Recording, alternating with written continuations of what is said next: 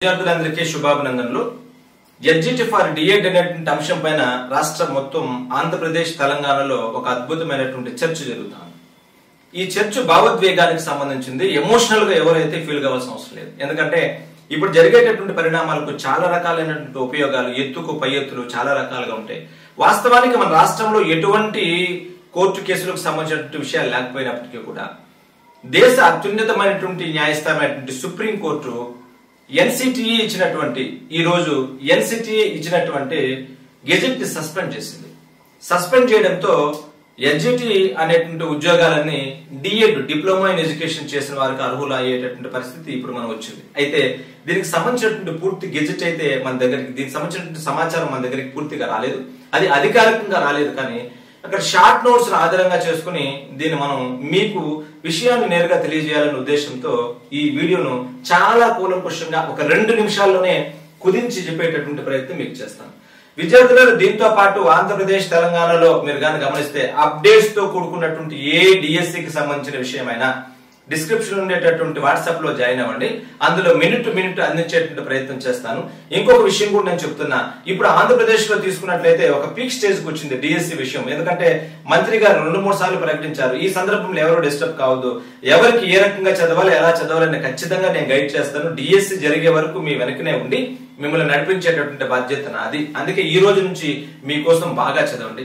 అయితే మీరు ప్రణాళికబద్ధంగా చదువుకోలేకపోతే నా దగ్గరకు వస్తే ఒక వంద రోజుల్లో అద్భుతమైనటువంటి క్లాసులతో హాస్టల్లో మిమ్మల్ని ఉంచి యాభై మార్కులు డైలీ టెస్ట్ నూట యాభై మార్కులు వీక్లీ గ్రాండ్ టెస్ట్ ఇచ్చారు ప్రతి రోజు పేరు పేరున మీ మార్కులు మీ ర్యాంకులు చెప్పి ఎందుకు చదవరు మీ బాధ్యతను గుర్తు చేసి ఉద్యోగం చేసి సాధింపజేసే బాధ్యతను తిరుపతి సిటీ ప్రకటన తీసుకుంటుంది. ఒకవేళ రాలేని పక్షం అయితే డిస్క్రిప్షన్లో ఉండేటటువంటి తిరుపతి శ్రీ యాప్ డౌన్లోడ్ చేసుకుంటే అందులో రెండు కోర్సులు ఉన్నాయి. అద్భుతంగా రెండు కోర్సులు మీరు ఫాలో అయితే ఖచ్చితంగా ఇంటి దగ్గర ఉండి కూడా ఈ అనుభూతిని పొంది జాబ్ కొట్టడానికి కావాల్సినటువంటి అన్ని రకాలైన ఏర్పాట్లు నేను చేశాను. అది కేవలం డిఎస్ అంటే తిరుపతి శ్రీ ప్రజ్ఞలో ఏది మాత్రం ఒక్క పర్సెంట్ కూడా లోపం లేకుండా ఇచ్చేటువంటి ప్రయత్నం మనం చేస్తున్నాం. కాబట్టి మీరు యాప్ డౌన్లోడ్ చేసుకోండి. మరి విషయానికి వచ్చినట్లయితే సుప్రీంకోర్టు తీర్పు పైన ఈ రోజు అదే రకంగా స్కూల్ అసిస్టెంట్ మధ్య చాలా రకాలైనట్టు ఉద్వేగాలు వచ్చే అవకాశం కనిపిస్తుంది. అయితే ఏమీ లేదు అక్కడ. మీరు గమనించాల్సింది. ఇంతకు ముందు దాన్ని ఇప్పుడు మళ్ళీ వాడుతున్నాం. అసలు ఆంధ్రప్రదేశ్లో ఎటువంటి చర్చ లేదు కదా. ఎటువంటి కోర్టు కేసులు లేవు. అయితే ఎందుకు దీని గురించి మాట్లాడుతున్నామంటే సుప్రీంకోర్టు అనేది దేశానికి మొత్తానికి కోర్టు కదా. అది ఇచ్చేటటువంటి తీర్పు దేశంలో ఉండేటువంటి అన్ని రాష్ట్రాలు కూడా వర్తింపు చేస్తుంది దీంట్లో మన ఆంధ్ర తెలంగాణలో కూడా మనం ఉన్నాం. మన రెండు రాష్ట్రాలు ఉన్నాయి కాబట్టి మనం దాన్ని కూడా ఖచ్చితంగా ఫాలో అవ్వాల్సిన అవసరం ఏర్పడుతుంది. అసలు ఏం జరిగిందంటే రాజస్థాన్ గవర్నమెంట్ ఇప్పుడు ఇప్పుడు అమలు చేసేటువంటి విధానాలు కొద్దిగా తేడా వచ్చింది. రాజస్థాన్ గవర్నమెంట్ డిఎస్సి రిలీజ్ చేసింది. డిఎస్సి రిలీజ్ చేసి అక్కడ ఇచ్చినప్పుడు అక్కడ డిఎడ్ చదివేటటువంటి స్టూడెంట్స్ అందరూ ఎస్జిటి పోస్టులు మాకే కావాలి అనే విషయంతో కోర్టుకు వెళ్ళారు ఎప్పుడైతే కోర్టుకు వెళ్ళారో హైకోర్టు రాజస్థాన్ హైకోర్టు వాళ్ళకి ఫేవర్గా కేసును వాదించడం తీర్పు ఇవ్వడం జరిగింది. అయితే ప్రభుత్వం ఏం చేసిందంటే వెంటనే దాన్ని ఆధారంగా చేసుకుని ఎందుకు బిఎడ్ వాళ్ళు బ్యాచిలర్ ఆఫ్ ఎడ్యుకేషన్ వాళ్ళు ఎస్జిటికి అవకాశం లేదు ఎన్సిటి మనకు నామ్స్ ఇచ్చింది కదా గెజిట్ రెండు వేల పద్దెనిమిదిలో రిలీజ్ చేసింది కదా దీని ప్రకారం బిఎడ్ మనం గారు పూర్తి చేస్తే బిఎడ్ పూర్తి చేస్తే ఎస్జిటి కోర్స్ అర్హత ఉంది కదా అనే ఉద్దేశంతో ఈ ఎన్సిటి అదే రకంగా కేంద్ర ప్రభుత్వము అదే రకంగా ఇక్కడ ఉండేటటువంటి బిఎడ్ విద్యార్థులు ముగ్గురు కలిసి ఈ డిఎడ్ విద్యార్థుల పైన ఇద్దరు పరస్పరము హైకోర్టు నుంచి సుప్రీం కోర్టుకి వెళ్ళడం జరిగింది. హైకోర్టు నుంచి సుప్రీం కోర్టుకి ఎప్పుడైతే వెళ్ళడం జరిగిందో సుప్రీం కోర్టులో దీనిపైన రెండు వేల ఇరవై ఒకటి నుంచి వాదనలు బాగా జరిగాయి. ఎప్పుడైతే వాదోపవాదాలు బాగా జరిగి ఒకనొక దశలో దీని పట్ల పూర్తి ఒక ఒక రకమైన అసంతృప్తి కూడా జడ్జి గారు చూపించడాన్ని మనం చూడొచ్చు. ఎందుకంటే ఇంతకు ముందు మేము ఇచ్చినటువంటి అంశాలను మీరు ఎందుకు ఎన్సిటి మీరు ఎందుకు పరిగణలోకి తీసుకోలేదు? ఎన్సిటి ఫర్ డిఎడ్ అనే అంశాన్ని కూడా అడిగింది. అయితే మన రాష్ట్రంలో విషయం చాలా వేరు. ఎందుకంటే మనం మూడు నాలుగు ఐదు తరగతులను వన్ వన్ సెవెన్ జీవో ప్రకారం హై స్కూల్ ఆల్రెడీ మెర్జ్ చేసుకున్నాం. ఎన్ఈపి ట్వంటీ ట్వంటీని అమలు చేస్తున్నాం. రాష్ట్ర ప్రభుత్వం ప్రణాళికబద్ధంగా ముందుకెళ్తానే ఉంది.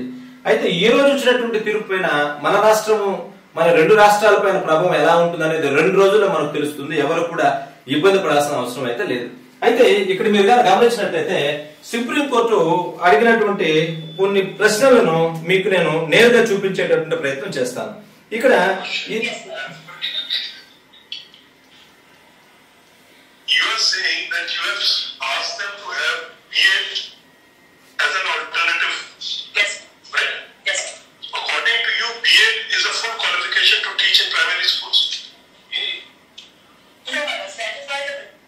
అంటే అడుగుతున్నారు ఇక్కడ బిఎడ్ అనేటువంటి ఉంటుంది.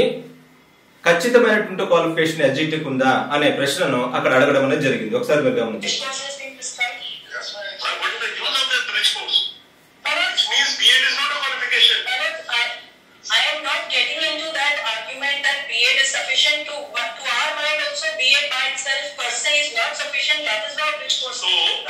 You have deliberately put in a qualification which you know is not a qualification. In public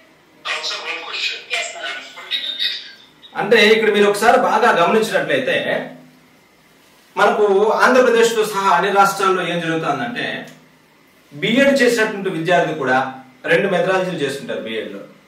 అదే రకంగానే ఇప్పుడు ఎస్జిటికి అవకాశం ఇచ్చినప్పుడు టెట్ క్వాలిఫై అవుతారు మరి డిఎస్సి రాస్తారు. దీంట్లో మూడు మెథడాలజీ చదువుతారు. అక్కడ రెండు మెథడాలజీలతో పాటు అదనంగా ట్రై మెథడ్స్ చదువుతారు తెలుగు మెథడాలజీ చదువుతారు ఇంగ్లీష్ మెథడాలజీ కూడా చదువుతారు. వీళ్ళు డిఎస్సి ఉద్యోగం సాధించి ఎస్జిటికి వెళ్ళిన తర్వాత మళ్ళీ బ్రిడ్జి కోర్సు కూడా వీళ్ళకి మనకు పెట్టడం అనేది జరిగింది. ఇదే వాదనలో జడ్జి గారు ముందు వాదించినప్పుడు జడ్జి గారు స్పష్టంగా ఒక ప్రశ్న అడిగారు. అసలు ఎస్జిటి పోస్ట్కి బిఎడ్ వాళ్ళ అర్హులను నేరుగా ఉందా అని అడిగారు. వాళ్ళు లేదు మేము బ్రిడ్జ్ కోర్స్ చేయిస్తామన్నప్పుడు నేరుగా డిఎడ్ వాళ్ళు ఉండేటప్పుడు నేరుగా ఎందుకు అనేటువంటి వాదోపవాదాలు కూడా మనం స్పష్టంగా చూడొచ్చు ఇక్కడ. అంటే వాస్తవాన్ని మీ దగ్గరికి నేను తీసుకుని వస్తున్నాను ఎందుకంటే ఒక సమస్యకు సవా లక్ష ఆరు మన అంశాలు కనిపిస్తాయి. అదే ఇక్కడ కూడా ఈ- రోజు తీర్పు ఇచ్చింది సుప్రీంకోర్టు డివిజన్ బెంచ్ ఇచ్చింది. మరి రాజ్యాంగ పద్ధతి ఉండేటటువంటిదే కదా. అయితే మళ్ళీ కూడా వెళ్ళొచ్చు. సుప్రీంకోర్టు ఇప్పుడు ప్రధాన న్యాయమూర్తి బెంచ్ కూడా వెళ్ళడానికి అయితే అవకాశం ఉండొచ్చు. అయితే ఇవన్నీ కూడా మీకు తెలియపరచాలన్న ఉద్దేశంతో నేను చెప్తున్నాను. దేంట్లోనైనా కూడా మనం పాజిటివ్ గానే మనం గమనించాలి. చదవడం అయితే మాత్రం ఆపదు ఎందుకంటే ఈ వాదోపవాదాలు జరుగుతూనే ఉంటాయి. బీఎడ్ వాళ్ళకైతే తక్కువైతే ఉద్యోగాలు లేవు కదా. స్కూల్ స్టూడెంట్ చాలా ఎక్కువగానే ఉన్నాయి. ఒకవేళ అటు ఇటు అయినా కూడా. మరి దానికైనా కూడా మీరు సైకాలజీ చదువుకోవాలా? విద్యా దృక్పథాలు కరెంట్ అఫైర్స్ చదవాలా? మీ కంటెంట్ చదవాలా? దీనికే నాలుగేళ్ళు ఎక్కడ సరిపోతుంది? ఎడ్జిటి వల్ల ఎక్కడ డిస్టర్బ్ అవ్వద్దు? ఉన్నదాన్ని మనం సద్వినియోగం చేసుకుంటే అద్భుతంగా ముందుకెళ్ళడమే. వీళ్ళిద్దరికి పని అయితే ఉంది నా దృష్టిలో. ఎవరికి పని లేకుండా అయితే లేదు. అయితే మనం ఫీల్ అవుతున్నాం అంతే. ఇప్పుడు స్పష్టంగా మీరు గమనించింది. ఎన్సిటిఏ కూడా ఇంతకు ముందు సుప్రీంకోర్టు ఇచ్చినటువంటి తీర్పును అధిగమిస్తూ గెజెట్ నోటిఫికేషన్ ఇవ్వడం వల్ల ఇప్పుడు ఈ బిఎడ్ చేసిన వాళ్ళందరూ ఎస్జిటి రాసుకోవడానికి అవకాశం కల్పించింది. అందరూ అదే ప్రణాళికతోనే మనం ముందుకు వెళ్తా ఉన్నాం.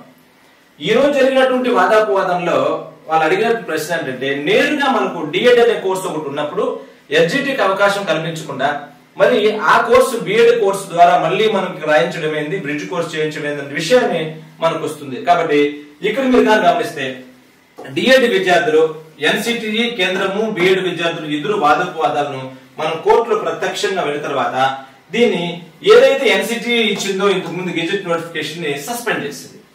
గెజెట్ నోటిఫికేషన్ ఎప్పుడైతే సస్పెండ్ చేస్తుందో ఇప్పుడు ఏముంది? ఎస్జిటి వాళ్ళు కేవలము డిఎడ్ చేసిన వాళ్ళకి అవకాశం కల్పిస్తుంది.